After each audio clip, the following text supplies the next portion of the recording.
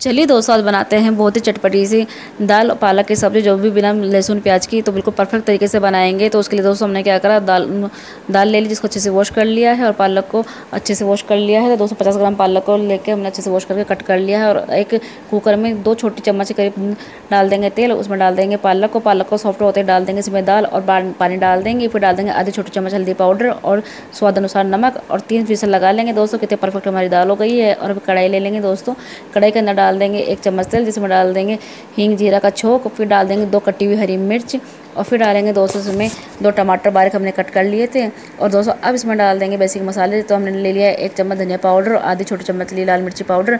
मसाले आप अपने स्वाद के अनुसार ज़्यादा कम कर सकते हैं दोस्तों। और अब मसाला पक गया हमारा, अब डाल देंगे दाल। तो देखिए दोस्तों कितनी परफेक्ट हमारी दाल बनकर तैयार हो चुकी है। तो दोस्तों इसी तरीके से वीडियो पाने के लिए मेरे चैनल सब्सक्राइब कीजिए लाइक कीजिए शेयर कीजिए कमेंट कीजिए। Thank you